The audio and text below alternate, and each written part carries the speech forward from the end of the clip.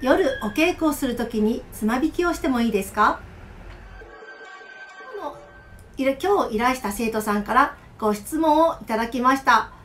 内容は夜お稽古をするときにつま引きで練習をしてもいいですか？というものでした。三味線のお稽古をしていて夜大きな音を出せないという場合があるかと思います。そのような時につま引きをしてお稽古をする方法もあります。その時に私がお願いしたのはこんなことです。つま引きをする時に右手の位置に注意をしてくださいってことをお願いしました。少し下を映していただけますか？普通に音を出すと、えー、例えばそうですね3の糸でしたら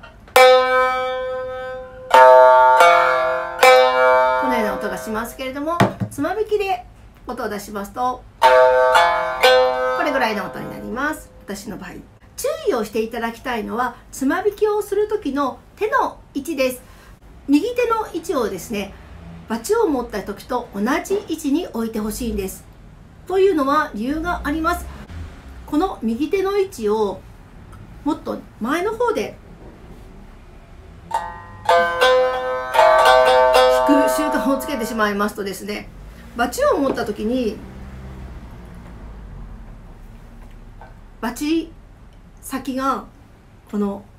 三味線の胴からはみ出てしまうんですね、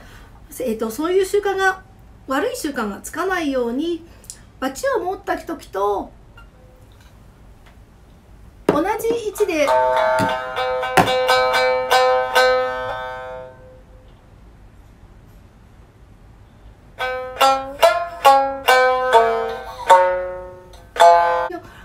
にですねバチで持った時と同じ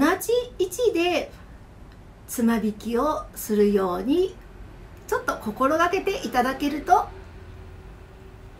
普段のお稽古にも影響が出なくてスムーズかなと思います。まとめるとこうなります。つま引きに関しては指導者によって、え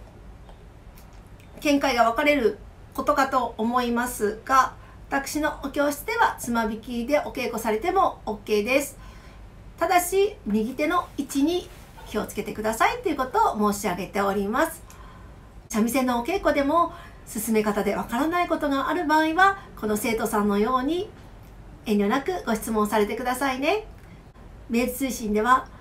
上達した生徒さんの学習方法などもシェアしております。ぜひご活用くださいませ。それではまたお目にかかりましょう。